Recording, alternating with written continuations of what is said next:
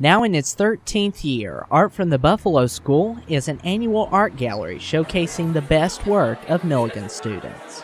The gallery presents many different art forms at the Nelson Fine Arts Center in Johnson City. Anyone who's done graphic design, drawing, painting, photography, or sculpture, they're all welcome to enter pieces into the show.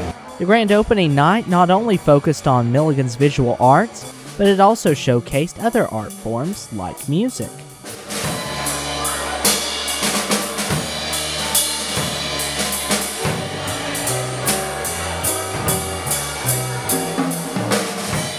For some students, the various art forms are seen as one.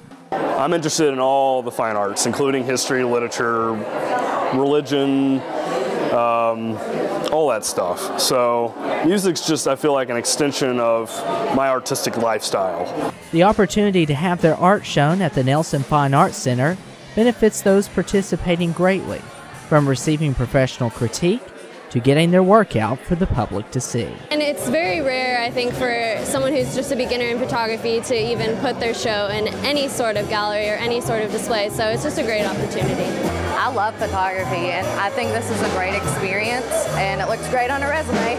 the gallery also provides a great opportunity for Milligan faculty and students to show their support. Milligan always supports always supports its own. There's always I would say that probably 90% of the visitors tonight are, have a connection to Milligan. The art from the Buffalo School Gallery is shown throughout the month of February. For more information, visit nelsonartscenter.com.